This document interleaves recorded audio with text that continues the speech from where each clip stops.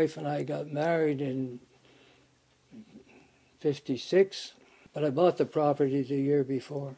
Had to sell my sailboat to buy the property. I like, like I say, I like being near the water. I like the rural life because most of my life was rural, I guess. All the people, different people I've met over the years.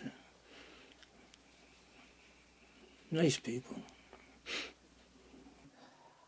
I suppose one special thing is going to the big beach at the park after a big storm. Maybe not when the people are around, uh, you know, in the height of summer or anything like that, but maybe in early spring after some big storm and seeing the big, huge big trees smashed on the rocks, very picturesque style, and then seeing what debris is being washed up, you know, and seeing the sun peering through the clouds after, you know, after the big rainstorms and everything like that. Especially if it's a time when nobody's around. Or then, of course, the, memories of visiting little cabins and the, uh, you know, and the all the artistic people who used to live there at Stanley Jackson's place. It was so, so much more romantic than nowadays. My favourite part of living here, fresh air, no push, a good view, lots of friends. I didn't have shoes on at all until I was three years old. doggone shoes are a nuisance. oh yeah, we get around the bare feet all right. Barnacles, so what?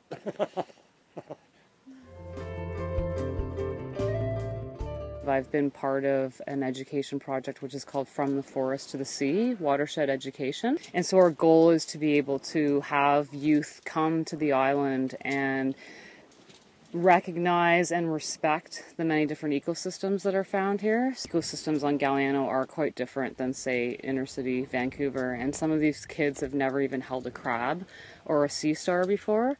So for them to come to a place like Montague Harbor and explore the intertidal zone and actually find these creatures and hold them and see that they're real, not just something that they've Googled on the internet. It's pretty mind blowing to them. When I first moved here, the um, First Nations people were the ones I first made friends with, so I've always been close to them. I've taken the local school here to visit the native community on Kuper Island, and backwards and forwards on these little boats, that uh, children will be better able to make friends with each other than the grown-ups are. It, it means a lot to me. We started the fire department about the time that I uh, started the marina. 40 years with the volunteer fire department, one of the founding members. The last 25 years I was the chief. And that was, I think,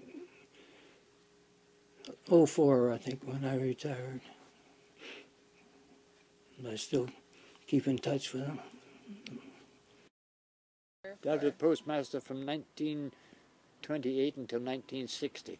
Mum and Dad, they both loved the island, worked hard for it. I should start with the uh, native settlement of Montague. Um, the um, it was a the whole that whole side of the island was very important for uh, all the clam beds. If you've been to the Montague Park, you can see the huge middens, the thousands of years of uh, shellfish that have been piled up and then washed out to create the shell beaches there.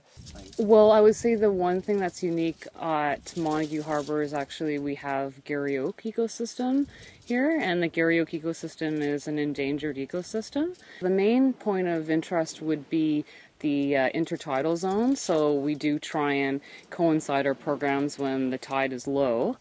And so when the kids come with their teachers, we'll explore some of the rocky outcrops at Montague here, and we'll find interesting creatures like sea cucumbers, sea anemones, and chitons, and uh, a lot of other interesting things. We usually see bald eagles, turkey vultures, and great blue herons.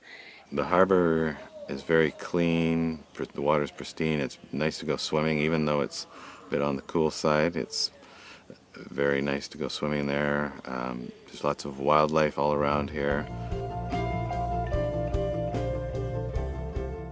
dad picked Montague Harbor for our vacation spot because he came here 20 years ago and he liked it. He brought us, and we decided it was really a nice spot.